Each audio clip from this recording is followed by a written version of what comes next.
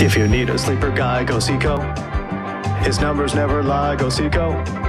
And the ceiling is the sky. For this player, you should buy. Go see Koh, go see Koh, go see Koh. Hey friends, Koh Worthington here. Whether you're looking for a new or used fantasy asset, we got the best deals for you here at Koh's Fantasy Lot. Now take a look at this 2011 AJ Green. It's an older unit, sure, but it still runs like a dream. It's just 5,100 bucks on DK this week. Now over the last three weeks, AJ Green is second on the team in receiving yards, touchdowns, and routes run. He scored 13 or more PPR points in four of his last five games, y'all y'all. Yahoo! If you want to change your luck, go see Koh.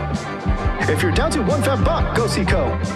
If your team don't score enough and you're feeling like you're stuck, go see Koh, go see Koh, go see Koh. Now we don't got acres and acres of fantasy wide receivers and running backs, but if you need just something a little bit bigger for that grown roster of yours, well, we got plenty of fantasy tight ends too. So come on down. Now take a look at this 2018 Ross Dwelley. It's a perfect fit for you budget conscious folks. Just 3,000 bucks on DK. And I tell you what, it's rare to see this model out on the road just 1% rostered. Dwelley ran the second most routes week five with George Kittle out. Now, not only have the Colts allowed the seventh most fantasy points to the position, the 80% catch rate allowed is the second worst in the NFL. Now, where I come from, they call that a sleeper.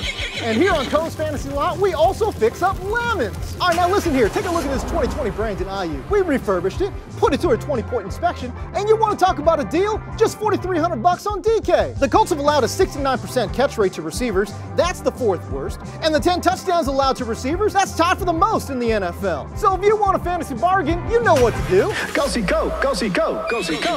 Conveniently located off the 105 and 405 freeways in El Segundo.